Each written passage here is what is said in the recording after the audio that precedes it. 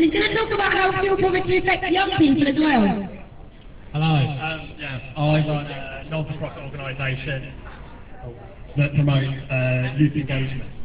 Uh, we've seen behind us the AGM of British Gas. Now, what they're probably talking about in there is how to increase their profit, which currently stand at 571 million pounds in the last 12 months. What they won't be talking about is how many children live in fuel poverty in 2014. That number is 2.2 million. Let me just say that 2.2 million children live in fuel poverty. Compare that to the 571 million pound British gas making profit. How on earth is this acceptable? How on earth do we have a government that totally ignores the big six energy companies that are doing nothing to stop their predatory nature? The National Institute for Economic and Social Research found under 25-year-olds have suffered a fall in real wages of 8% since 2008. To combine this with the energy price hike that has seen a 37% increase on people's bills since 2010, British Gas and the UK government are punishing young people.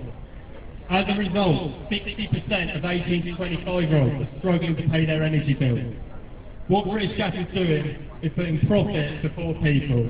And the real effects won't be shown in this AGM on some flash PowerPoint on how to maximise profit. What they should be showing, however, is two out of every five young people struggling to pay their bills admitted to having to skip meals to fund those bills. Young people are going hungry because of people like British Gas and their predatory nature. But I don't want to be the prophet of doom for you all today. I want to take away something positive. And the positivity is certainly not going to come from behind me. The positivity is going to come from you guys. You guys are standing up for the majority of the British public that know the big six energy companies have to stop. You're also more, you're standing up for the thousands of young children that are being forced to live in fuel poverty in the UK today. So thank you so much for being out there. Solidarity. Okay, thank you.